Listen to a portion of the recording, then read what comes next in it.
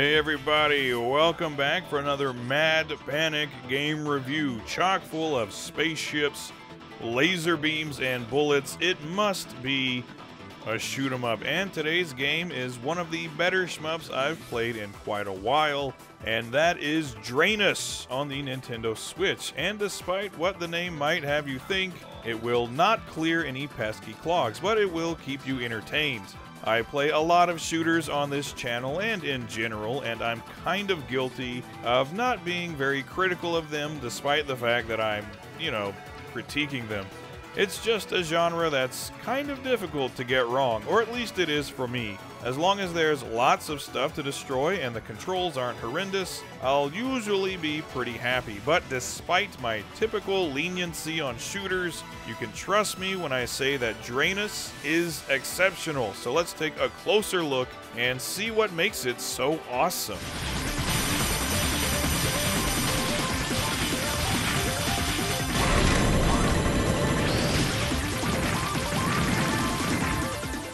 The premise of Drainus will sound very familiar to anyone who has ever played a shoot 'em up. You play as a rogue star pilot named Irina who has stolen an experimental fighter ship from the evil Carlisle Empire and is using it against them in an effort to save her family and her galaxy. So you'll have to take on the whole empire by yourself, as is tradition.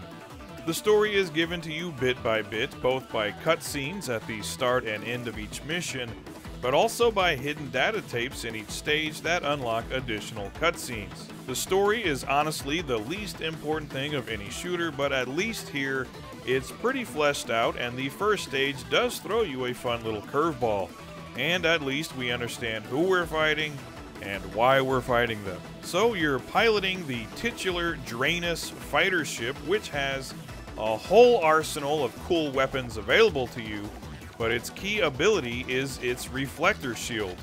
Whenever it's activated, you can absorb most enemy bullets and laser attacks and convert them into energy of your own, and then release it as a powerful homing attack. The more energy you absorb, the stronger the attack is. But you have to be careful with it as it has a limited energy supply, which can get you into trouble if you over rely on it, and some bullets cannot be absorbed, so you have to keep an eye out for those as well. Aside from the reflector shield, you can unlock a lot of different abilities by collecting energy from destroyed enemies, which you can exchange for things like spread shots, missiles, additional shields, a variety of different super attacks, more energy for your reflector shield, and more health for your ship. Actually, that's probably the most irritating thing about Drainus, or at least it is for me, is that your access to your power-ups is tied to your health. So when you're at max health and all of your power-ups are activated, you're an absolute death machine. But take a few hits and it's kind of like Gradius.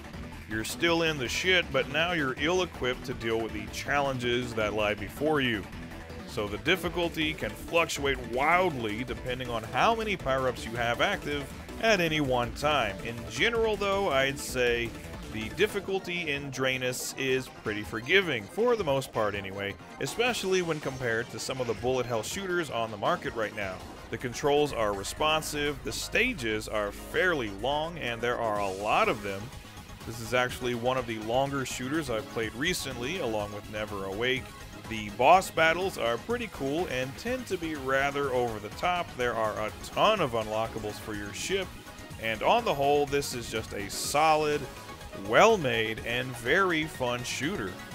On top of all of that, this is also a pretty good looking game, all things considered. The stages include everything from planet surfaces and battles in outer space to flying through huge space cruisers and other cavernous areas. It's not really anything you haven't seen before, but it ain't half bad.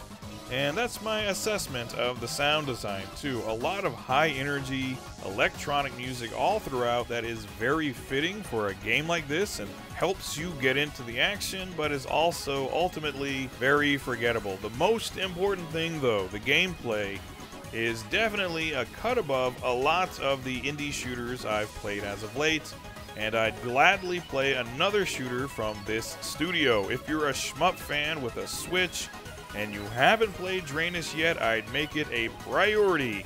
It's bad for clogs, but good for shooting, and it's awesome. Liquid-Plumr urgent clear. When you need it now. Hmm.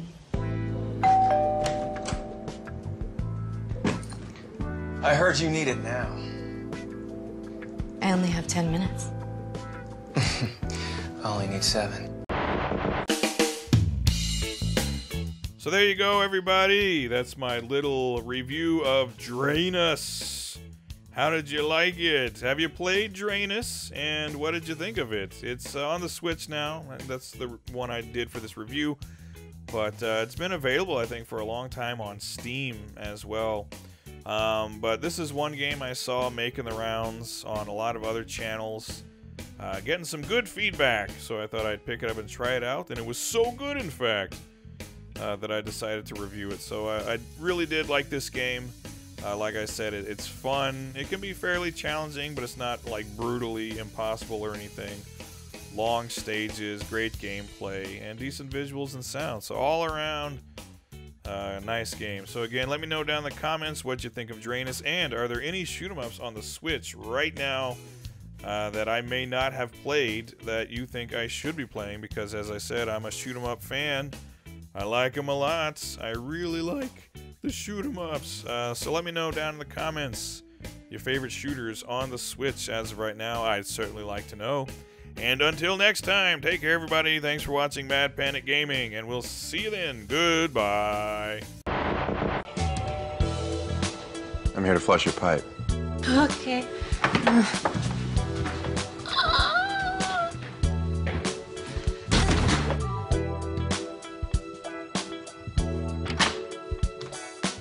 Liquid-Plumr Double Impact has twice the drain clearing power with a long snake to grab, deep clogs, and a powerful gel to finish off the rest.